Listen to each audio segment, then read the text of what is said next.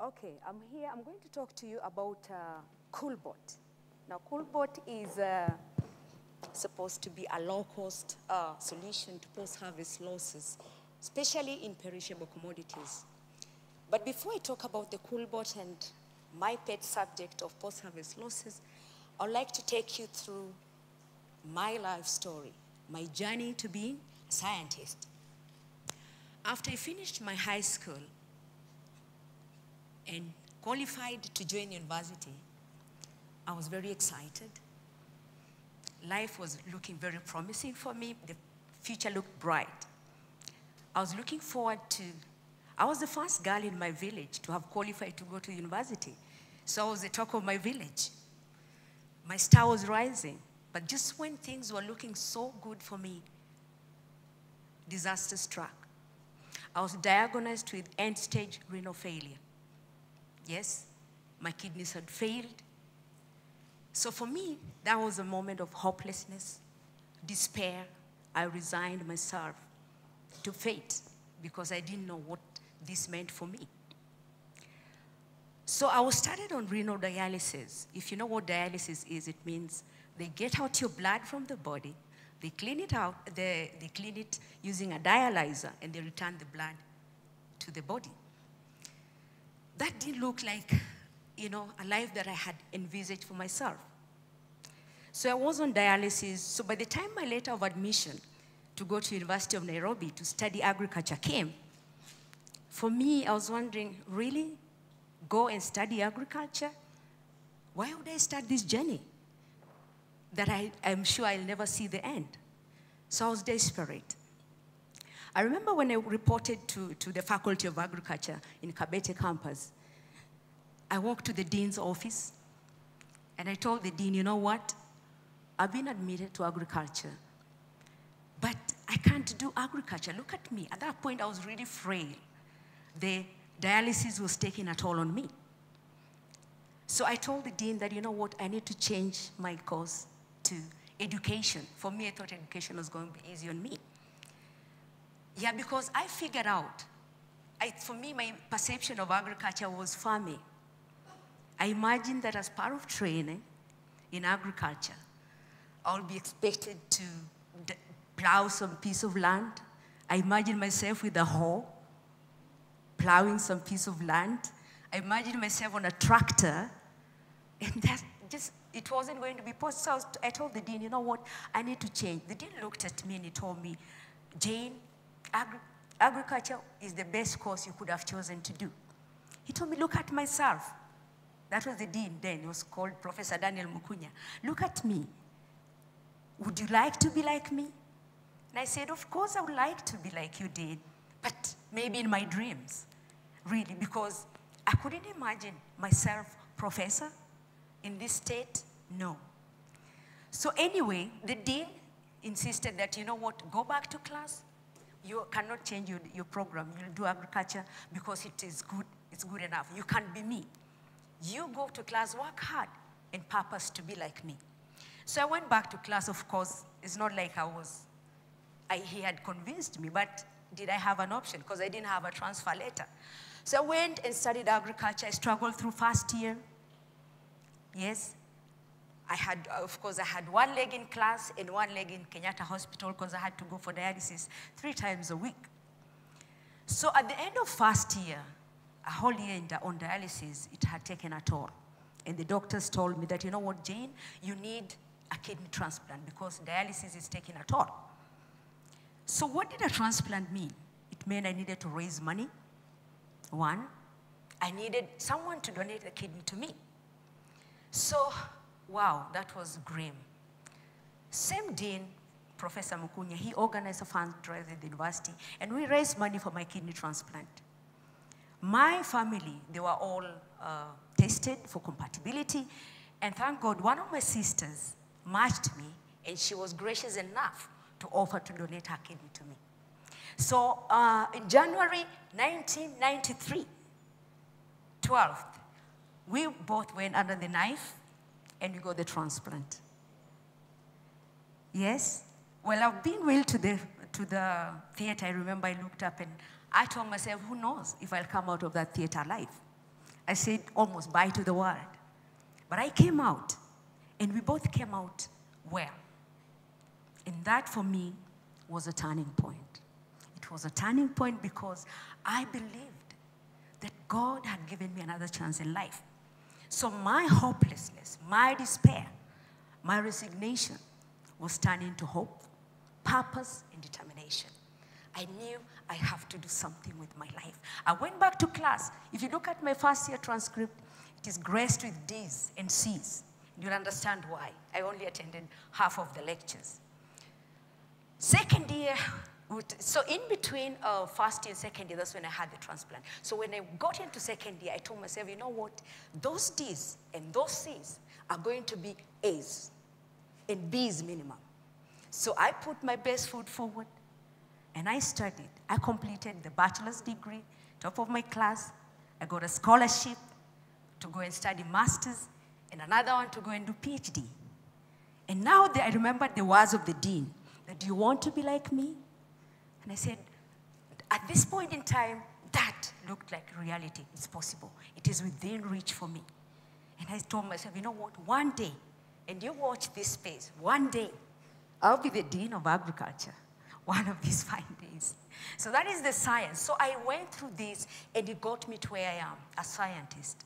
So my purpose, my area of research in, uh, uh, in agriculture, specifically in horticulture, is post-harvest science and technology.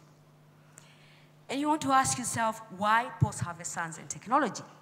Okay, at this point, I want to acknowledge the African women in agricultural research and development. They're part of my journey that, are, that has helped me to shape this focus.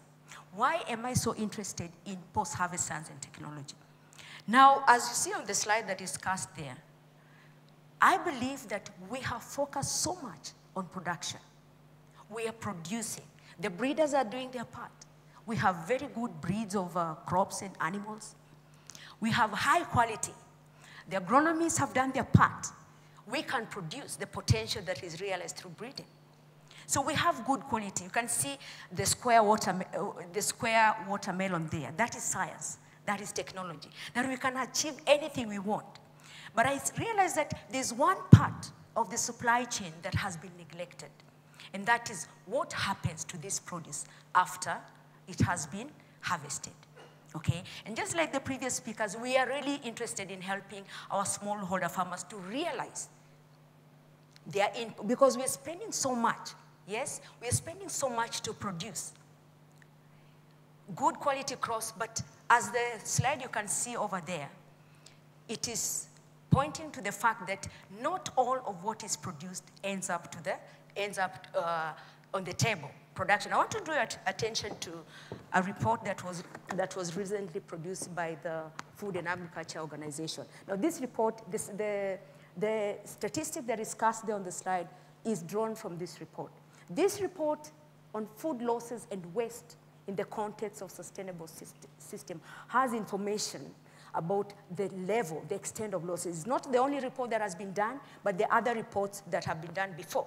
Now, th this report points to the fact that a third of the food that is produced, that is 1.2 billion tons of the food that is produced is wasted along the supply chain. Now, it gets worse for fruits and vegetables because of their high perishability. That is almost 50% of the fruits and vegetable produced are wasted, lost or wasted. Now, that means for every two fruits that are produced, one ends on the table, the other one ends where? In the dustbin. Now, if that doesn't click, if that doesn't warrant action, I don't know what does.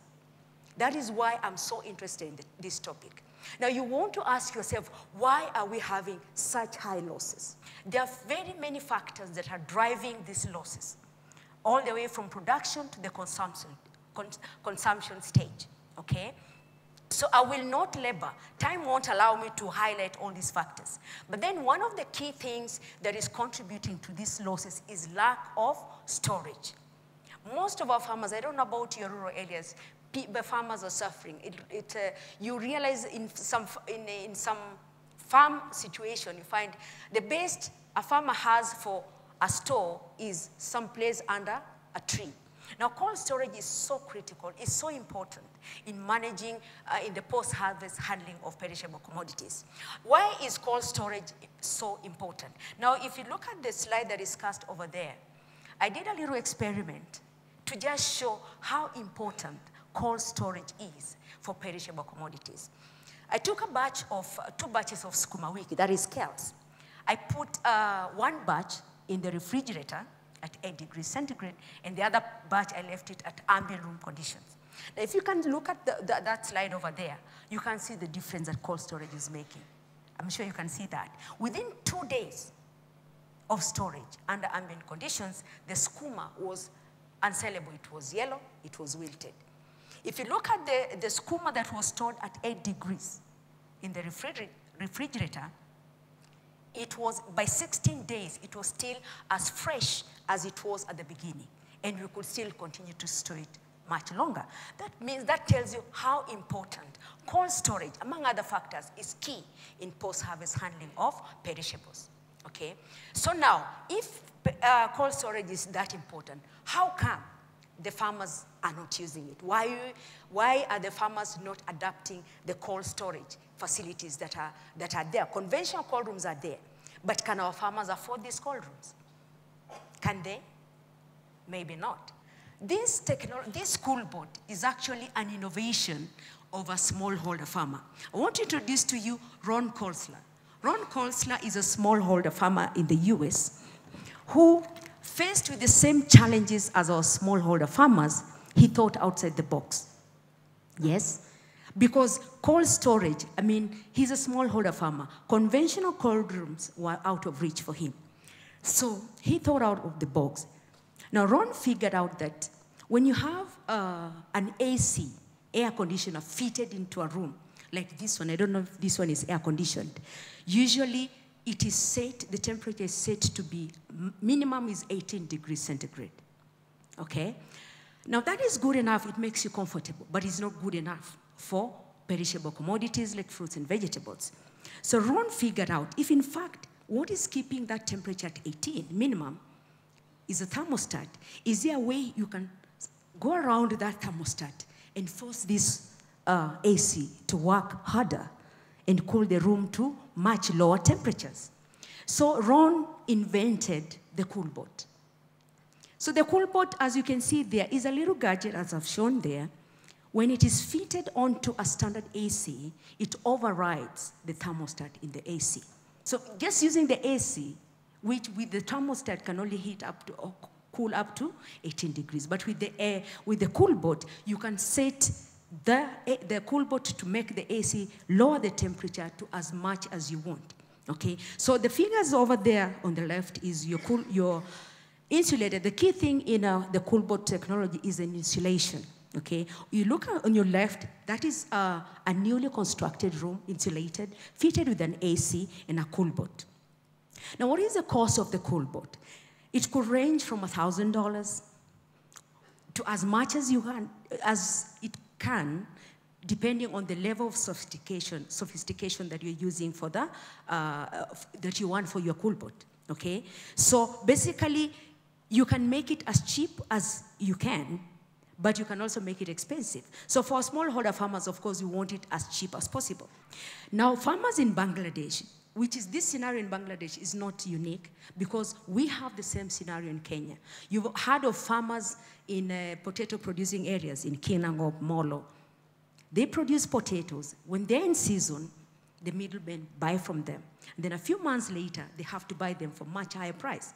That is the same scenario for smallholder farmers in Bangladesh. So given the fact that the CoolBot has been there, it's been introduced, myself and a team of researchers from uh, University of Nairobi, Professor Hutchinson, Dr. Willis Owino, uh, some researchers from KARI, Dr. Lu uh, and a team from, the, from UC Davis, uh, Ms. Britta Hansen and uh, Michael Reid, we teamed up, and, teamed up and said, you know, can we pilot this technology in Kenya? And when there was a call from Kenya Feed the Future Innovation Engine, we put in a bid to pilot this technology in Kenya. And we're glad that we're given that grant, and we're actually piloting this technology in, in Kenya. We are currently in Makueni. Makueni because I've been working with the mango farmers in Makueni and I feel their pain. They lose, they wait for their mango crop a whole season. And then when now, like now mango is coming into season, the amount of losses these farmers incur is unacceptable. So something has got to be done. So I'm working with these farmers. The, the, the slide that is over there shows our pilot uh, project. So this is preliminary work. We have stored some tomatoes and kales there. We just wanted to see, does this CoolBot actually work? And how effective is it to cool the produce? So I am glad to report that for the pilot phase, it is perfect. We could cool the room to as low as 10 degrees. So of course, we don't want to get it too much low, uh, lower than 10 degrees because uh, of chilling injury. So we were able to cool our room and our produce has been stored long enough, which makes a whole lot of difference for the smallholder farmers who we are targeting. What is the biggest challenge we are facing in Makueni, in some of the rural areas? Electricity because electricity in most rural areas is not there.